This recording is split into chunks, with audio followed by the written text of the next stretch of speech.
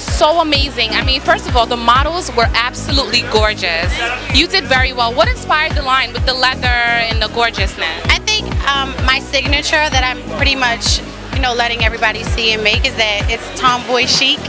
But I added like a lot of sexiness, and of course it's fall winter, so you have to add the fur, of course, so that you can be super super warm. So you know, I just I really stepped it up. Um, last season, I really feel like I just did um, just a lot of sporty, so I wanted to like add some versatility in there. No, not this year. You definitely did. It was very short and simple. Can we get more from you in the next season? We wanted the show to last longer. This is just the beginning. This is the very tip of the beginning. Awesome. Do you have a website that you can link? it's www.frontrowcouture.com. Congratulations.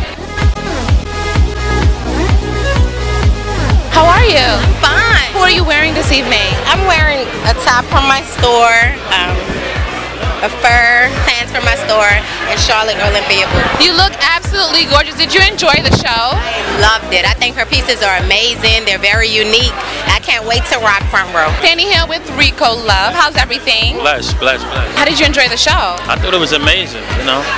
When Cream came on, I just got excited, and you know, I started seeing some real innovative styles and some cool cuts and some clean ideas. So, I, you know, I salute. So you're pretty much into fashion as much as music. Absolutely, I think fashion and music is one. They're, they're like an entity. They have a love connection, don't you think? Absolutely. You name me a fashion show without a song playing in the background. Wow, very nice. You look amazing. Thank you. I'm trying. I'm Oh my God. Okay, sweet. How long has it been? wow. The last album was in 2005. Okay, the fans want to know when are you coming out with an album? Let them know. Well, the album is dropping later this year, but February 26th, I'm dropping a live EP. Same producers. Does that mean Missy Elliott? Well, Missy Elliott is not on this one, but she will be. We'll work together again, definitely. Can we see you in some of Shateria's uh, front rows? Absolutely, absolutely. Awesome.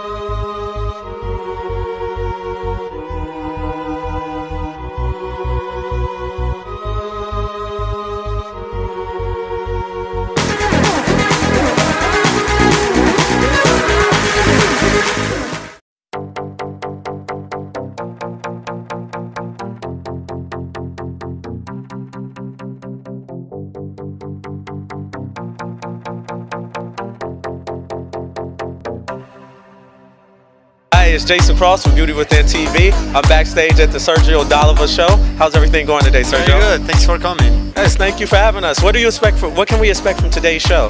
Well, I got inspired by all cities in Amer- North America and South America. I moved to South America for six months to Lima, that is one of the oldest cities, and I got inspired by this city. It's very gothic, very dark, that it fits very well New York.